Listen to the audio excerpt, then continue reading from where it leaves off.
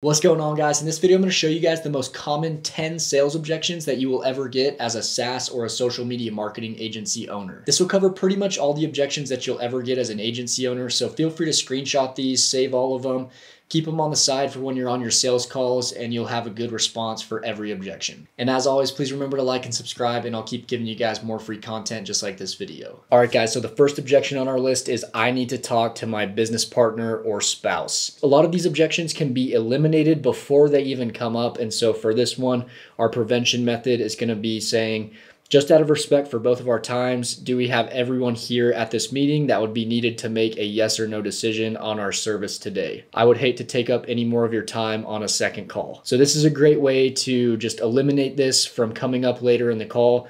And if they say, yes, we have everybody at this call, perfect, go right ahead with your pitch. If not, I would recommend rescheduling. Honestly, don't even have the call if not all the decision makers are there. You're going to be wasting your time. Just make sure that they're all there and then at the end of the call, let's say you forgot to prevent this or it just comes up anyway, you can say, no problem at all. What in particular did you want to talk to your partner slash spouse about? Is it the price? This is a great way to get people to tell you what their actual objections are. A lot of time, they don't actually need to talk to their spouse. It's a way for them to get out. Maybe they're not comfortable with something, or maybe they just don't understand something. So, this is a great way to get people to tell you how they actually feel. And so, when you ask, is it the price? They might say, like, yes, it actually is the price, or no, it's this or it's this, or I want to talk to them about this. It'll actually show what their true objections are, and then you can try solving those. Our next objection, which is kind of a big one with Go High Level, is do I have to change my phone number? Go High Level requires you to buy a Twilio phone number with each Go High Level sub account. And so a lot of people are like, oh, I've been using my cell phone or my office line for years and everybody has it saved and they're not going to know how to call or text my new number. And so this is what you can say to that if this comes up in your conversation. You'd say, not necessarily. Our phone system can be used primarily as your automated texting number.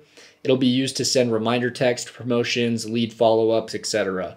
You can still use your current phone number for taking inbound slash outbound calls at the office. And if anyone calls your new number, we can have it forwarded straight to your current office phone. So this is a great way to solve this. It doesn't have to completely replace their number if they don't want it to. We can have the go high level number be just for their texting and their automations and things like that and they can still use their office line. But if somebody does call their Go High level number, it'll forward right to their office line anyway, seamlessly integrating their Go High level number and their current phone number. Our third one is I don't have the capital to invest right now. This is a big one that you can prevent at the beginning of the call by truly understanding the business and knowing what their budget is. The way you can do that is by saying, if you don't mind me asking, what kind of budget would you be willing to spend on a product slash service that produces a four to 5x ROI on average?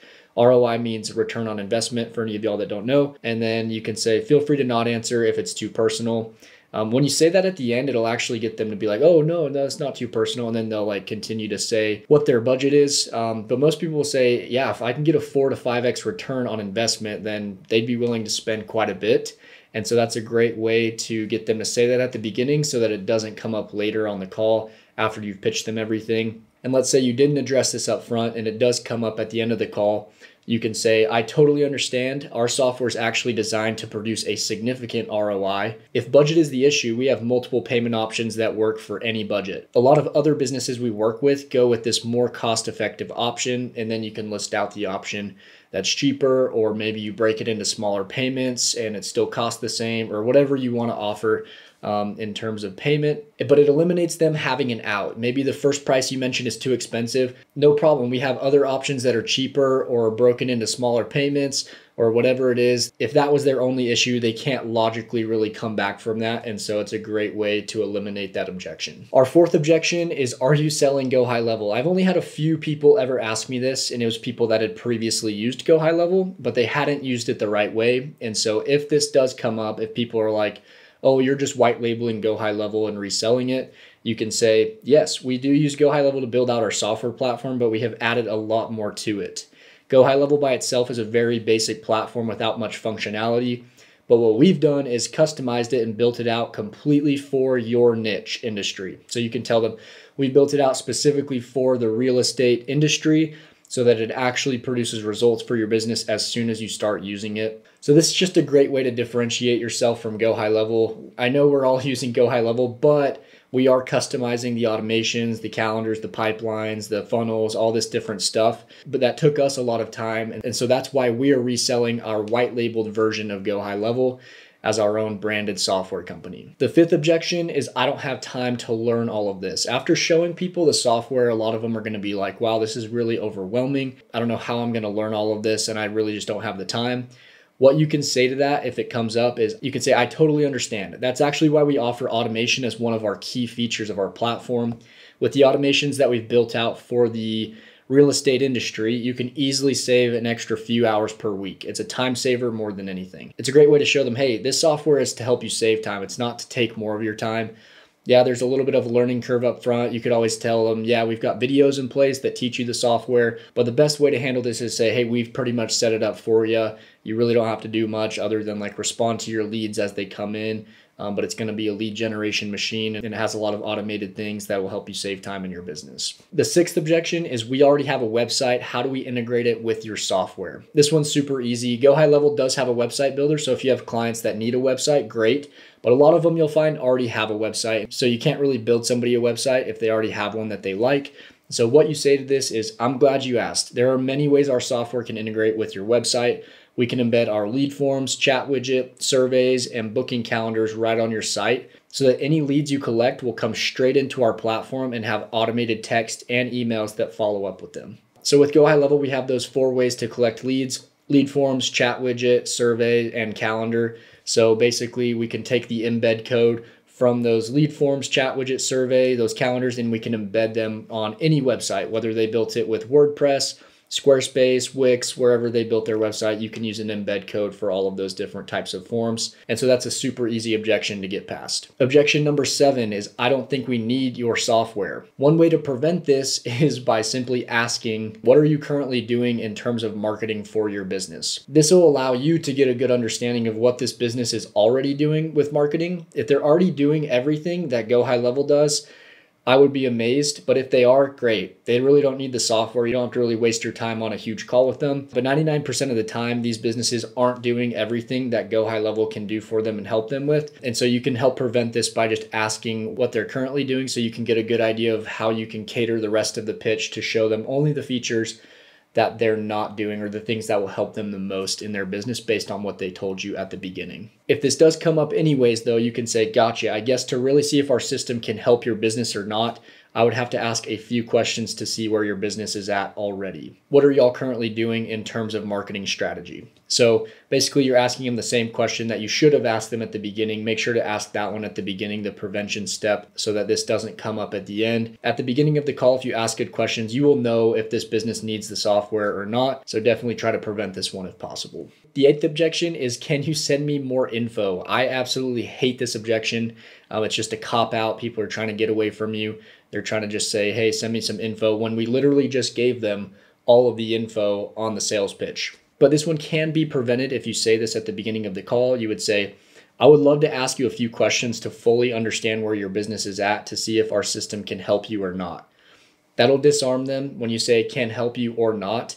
It's showing that you're truly in their best interest. You're not going to try to sell them something that they don't need. So we really just want to figure out hey, can we even help you or not? We might not be able to.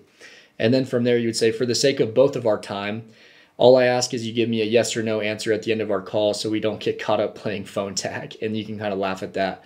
Um, is that fair? Anytime you're asking somebody to make a commitment and you're being kind of bold with them, make it more lighthearted where I say, you know, I don't want to get caught up playing phone tag with you. That's just a joke, right? So um, and then saying at the end, is that fair? 99% of the time, they'll say, yes, that's fair. So you're basically establishing at the beginning, hey, by the end of this call, you're going to give me a yes or no answer. If you don't want to use the software, tell me no so we don't waste our time playing phone tag, um, or tell me yes if you do. And so by the end of the call, they will tell you either yes or no. Hopefully, it's a yes. If you didn't establish this up front, though, what you can say if it comes up anyways, you could say for sure, these live demos are probably better than anything I can round up and send to you what type of info are you wanting me to send? When you ask at the end, what type of info are you wanting me to send? This will reveal their true objections. They'll say, oh, I want you to send more info on like how the software helps with lead gen. Boom, that's probably one of their objections. They don't maybe they don't believe that the software will help them with lead gen.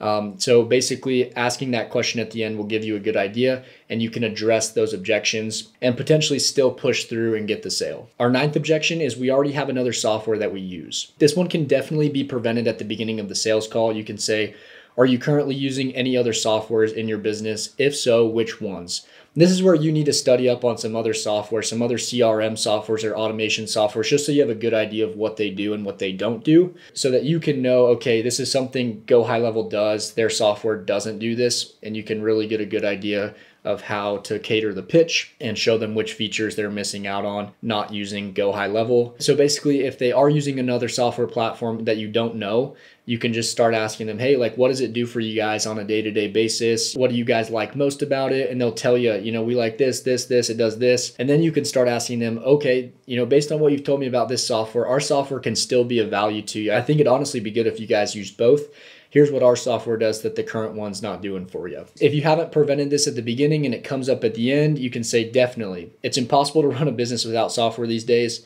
What exactly does your current software do for you on a daily basis? So basically the same question we asked at the beginning, but if we didn't prevent it at the beginning, we're just going to ask them the same question at the end. And then our 10th and last objection is can you show me any results? There's not a really great way to prevent this one other than explaining the software super well and showing all the value of the software so that they don't even have this question at the end. If you show them how great Go High Level is and all the features that it has, they really shouldn't have this question. But if they do, you can say, for sure, what kind of results are you looking for? There are a lot of different things that our platform does for your business, but what area are you wanting to see results in the most? Then they might tell you, oh, we're looking for results in like lead gen. We want lots of leads or we want lots of Google reviews or whatever it is then you can say, Gotcha, we'd be happy to give you a seven day free trial to test out the system.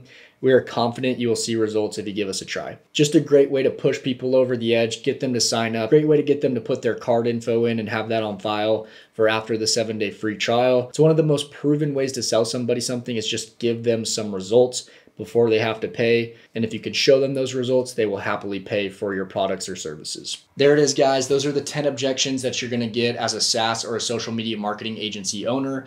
And that's how to overcome each of those objections. Down below this video, I've put a downloadable PDF of all of those 10 objections and how to get over them. And so you guys can get access to that down below. Also, if you haven't started your SaaS or your social media marketing agency yet using Go High Level, you can get access to my free masterclass down below. It shows you how to set everything up, start to finish, and I would be honored if you guys would access that. And then also, if you're wanting to start with Go High Level, you can get an extended 30 day free trial down below. On Go High Level's website, they only offer 14 day free trials, but you can get 30 days with my link. That helps me out a ton. And then in return, I can give you guys free one on one help help you set up everything inside of your account and really just make sure you understand it. And I'd be happy to give you one on one coaching with that. Other than that, guys, I appreciate y'all watching this video and I will see y'all next time. Peace.